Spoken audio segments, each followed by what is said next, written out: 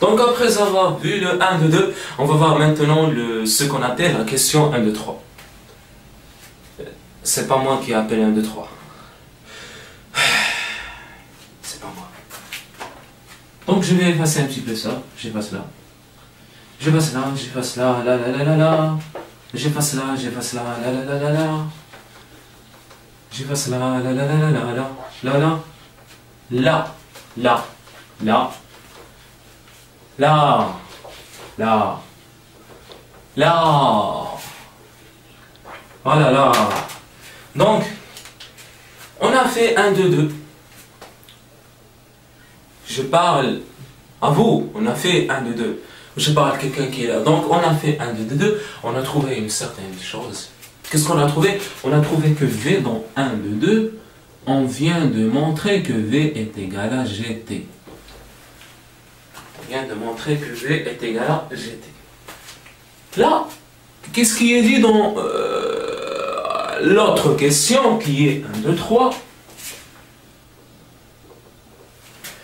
Tracé sur le graphique du document 2 de l'annexe 1 à rendre avec la copie, la courbe théorique représentant la fonction v de t établie au 1, 2, 2. Eh bien, d'après le document 2 de l'annexe, je vais vous montrer comment tracer cette fonction.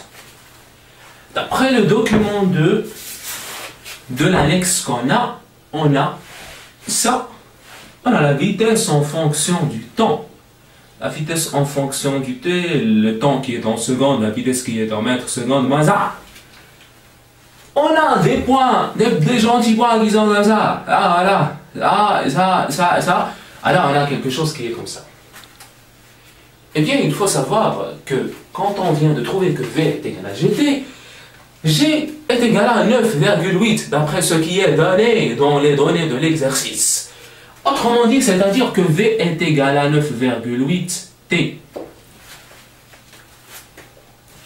C'est-à-dire qu'il faut seulement tracer cette droite qui est 9,8 T. Ça doit passer par le centre parce que parce qu'elle est linéaire. Elle est linéaire, elle doit passer par le centre, ça c'est sûr. Parce que pour t est égal à 0, v est égal à 0. Hein? t est égal à 0, v est égal à 0. Donc voilà le premier point. Le deuxième point, je vais dire que pour t est égal à 1, c'est-à-dire quelque part là, je ne sais pas moi, quelque part là, j'ai une certaine valeur de v qui est égale à 9,8, par exemple comme ça. Alors il suffit juste de, ou disons 9,8 euh, c'est ça, alors il suffit juste de tracer comme ça. Bon, normalement, euh, normalement, normalement parlant, euh, ça va donner quelque chose qui est tangent. Si vous, si vous téléchargez du site lapolice.org ce, ce, cet exercice, et si vous l'imprimez, si vous utilisez la règle et tout ça, vous allez trouver quelque chose qui est comme ça. C'est-à-dire qu'il suffit juste de, de sélectionner là 9,8. C'est tout, c'est très simple. Pour t est égal à 1 seconde, v est égal à 9,8 mètres par seconde pour t est égal à 0 seconde, v est égal à 0 mètres par seconde. Voilà le premier point. Voilà le second point. Il suffit juste de tracer ma droite. Et ça, c'est v est égal à 9,8 euh, t. C'est très simple, ça ne pose pas trop de difficultés.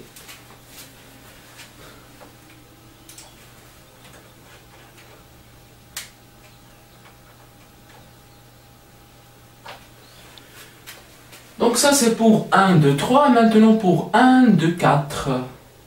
1, 2, 4. C'est pas vraiment 1, 2, 3 là, ça devient 1, 2, 4. 1, 2, on peut dire soit 1, 2, 4. Pourquoi ne pas nous dire 1, 2, 2 fois 2 Eh bien, ils vont nous rendre fou un petit peu. Donc, 1, 2, 4. 1, 2, 4. En vous aidant du graphique euh, du document 2 de l'annexe 1 à rendre avec la copie, établir jusqu'à quelle date on peut raisonnablement négliger les frottements de l'air? Eh bien, euh, je vais essayer de de, de, de, de, faire un petit truc qui est intéressant, c'est-à-dire de faire une petite liaison de ces points, de lier ces points. Voilà, comme ça, je lis, je lis, je lis, je lis. On voit vraiment, la vitesse, comment elle est Ça, c'est la vitesse. La fonction vitesse. Quel que soit t, quel que soit t.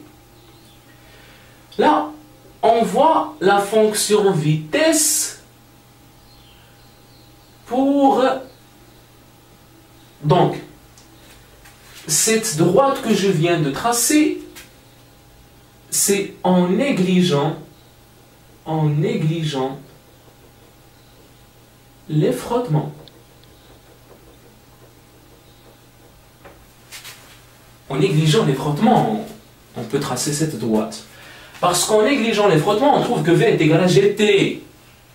Puisque, et comment j'ai pu trouver V est égal à GT? J'ai utilisé la seconde loi de Newton qui dit que la somme des forces extérieures est égale à M à G.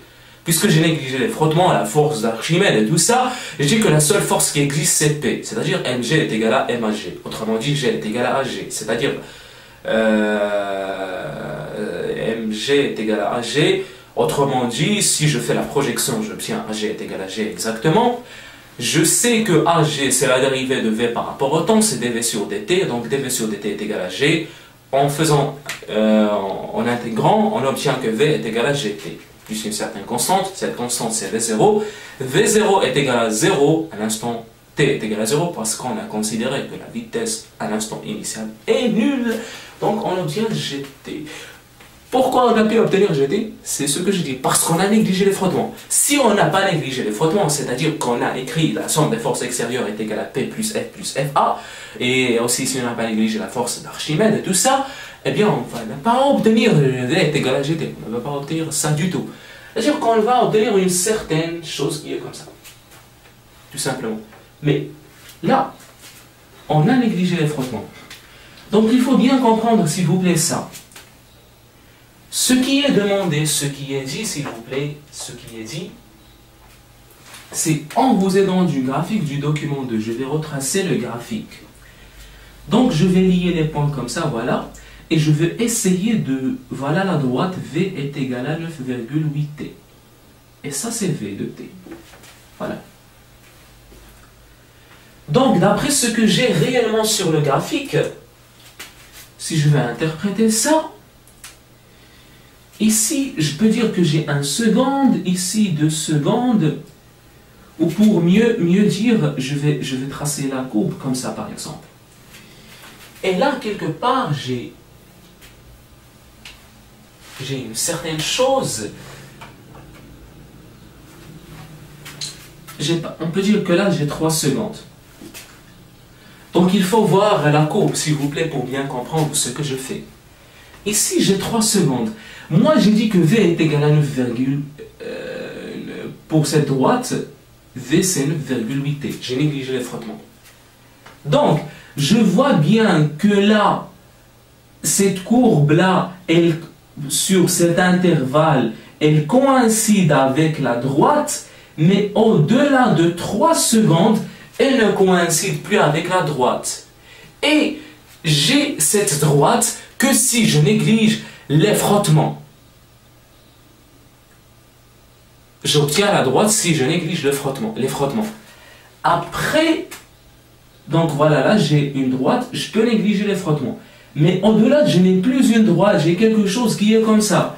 C'est-à-dire qu'il faut dire qu'il faut dire que à partir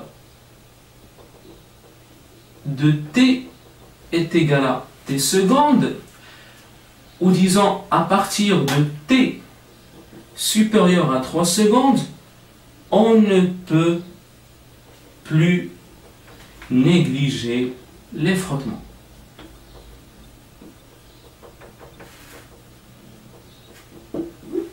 On ne peut plus négliger les frottements, les frottements avec S. J'espère que vous comprenez. Je vais répéter si vous ne comprenez pas. En fait, j'ai la vitesse, en fait, c'est une courbe qui est comme ça. Dans cette première partie, qu'est-ce qu'on étudie?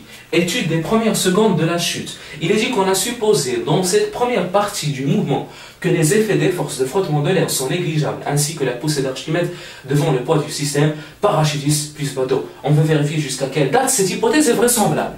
Vous voyez ça Donc à la fin, on a trouvé que dans, dans la question, qui, dans la question euh, 1, 2, 2, établir que l'expression théorique de la vitesse V en fonction du temps est V est égal à GT. Voilà, j'ai trouvé ça est égal à 1,8t. Dans la question qui vient après, il est demandé de tracer le graphique, euh, sur le graphique du document 2 de la X1 à rendre avec la copie la courbe théorique représentant la fonction t en fonction euh, établie en 1, 2. C'est-à-dire que ce que je viens de, représenter, c'est ça. Mais n'oubliez pas que, ce que je viens de tracer, c'est en négligeant les frottements. Et là, je, vois bien que ça, ça coïncide vraiment avec la courbe que j'ai à partir de cet instant, là, là. Donc, donc pour cet instant-là, pour ce t-là, qui est inférieur à 3 secondes, ça coïncide vraiment. Donc là, je peux vraiment négliger les frottements.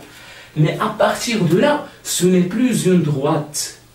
C'est-à-dire que là, il y a les frottements. Il y a les frottements. S'il n'y avait pas de frottement, en fait, ça va être comme ça. Il faut enlever un petit peu, il faut prendre la droite comme ça et la faire comme ça. C'est-à-dire il faut obtenir ça. S'il n'y a pas de frottement. S'il n'y a pas de frottement. Bon, j'espère que ça c'est clair. Je l'espère absolument bien. Je l'espère. J'espère que tu as compris. Haha.